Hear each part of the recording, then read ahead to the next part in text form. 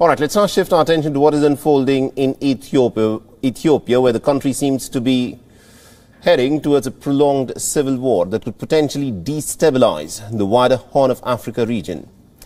And this never-ending civil war has all the glaring signs of a possible genocide.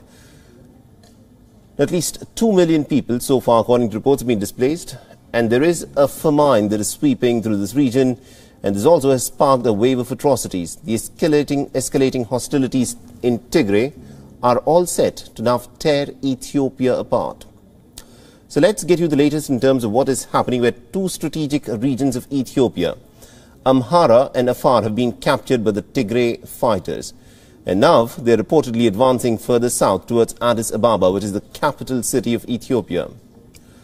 A nationwide state of emergency has been declared in the country and citizens of Addis Ababa have been urged to defend their homes.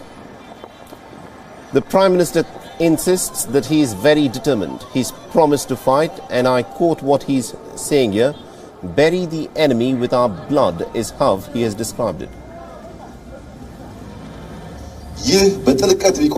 This pit, which is dug very deep, will be where the enemy will be buried, not where Ethiopia disintegrates. We will bury this enemy with our blood and bones and make the glory of Ethiopia high up again.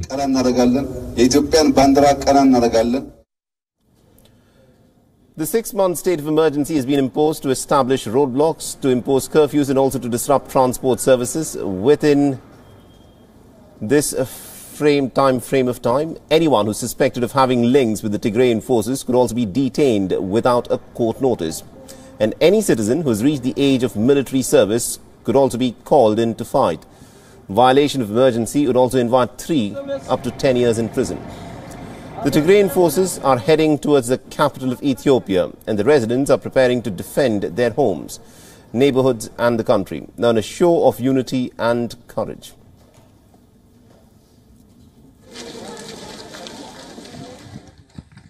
ስለዚህ ወጣቶች በሚያደርጉት ሙያ ነው መቀላቀል የምንፈልገው። ኦልሬዲ እስከ ግንባር መዝመት መዝመት አለብህ የሚል ሀሳብ አለ። መንግስትም ህዝብም ተረባርበው አካባቢውን በመጠበቅ ሰፈሩን በመጠበቅ ቤትም ሲያከራይ ሌላም ሌላም ነገር ሲያደርግ ሰዎችን ይወቃቸው መጀመሪያ እነማን እንደሆኑ። ችግሩ ያለው በዚህ መልኩ ነው። The Tigray People's Liberation Front has accused the Ethiopian Prime Minister of having unleashed a reign of terror with a vengeance. The Tigray People's Liberation Front, or the TPLF, has been fighting Abiy Ahmed's government forces for over a year, and they intend to topple the government in Ethiopia.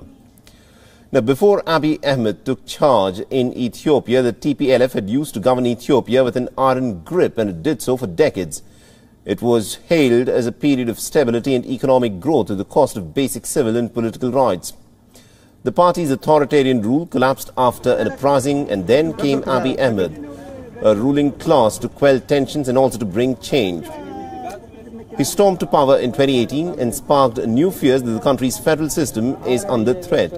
The system that had guaranteed autonomy to Tigray province was also under threat and this led to the leaders in Tigray to withdraw to their heartland and continue with their governance in the region.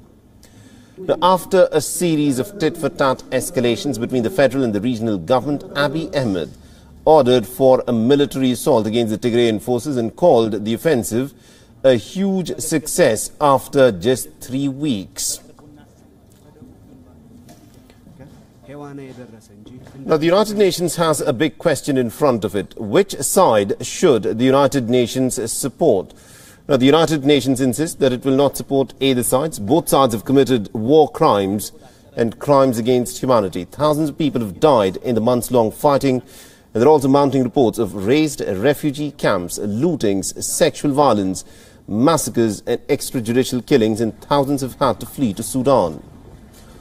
The United Nations has described it as the worst exodus of refugees from Ethiopia that's been witnessed in over two decades. It's also described it as a completely disastrous conflict that's given rise to ethnic cleansing in certain parts. After evidence of atrocities that have emerged since last year, the Human Rights Commission has launched a joint investigation into the war crimes that are being committed in the country. And this is what they've found.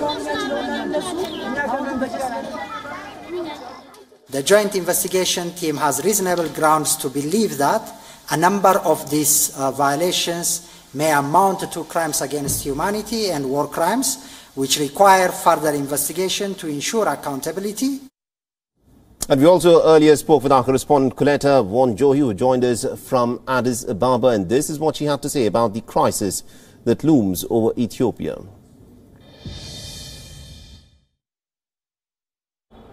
Well, what we have for now is just the threats that uh, the TPLF made uh, days back and uh, saying that they will advance into the capital city.